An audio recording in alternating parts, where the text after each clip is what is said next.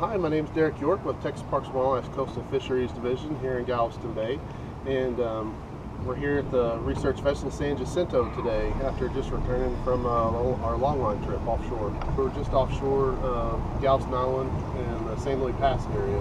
The longline sampling that we're doing is with the SEAMAP program. Um, and uh, we're basically going offshore targeting sharks with our long line uh, to put tags on them for some research to identify what species are being encountered near the coastal waters of, of Texas and around the rest of the Gulf of Mexico states. The long line itself is actually a, a if you think about it, it's like a, a freshwater trout line. So we put out a mile long uh, monofilament line with a, a high flyer at each end and then it has several sets of anchors throughout the mile line that we set out and over that mile, we put 100 hooks baited with the type of mackerel that's specified with our protocol. We're looking to basically tag any sharks that we get on board um, that are alive and healthy enough to release for recapture.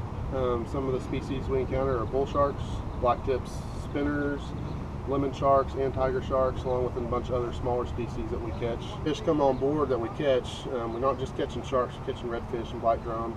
Um, they come on board, we collect three types of links. We do total standard or fork length and we also do weights um, in kilograms.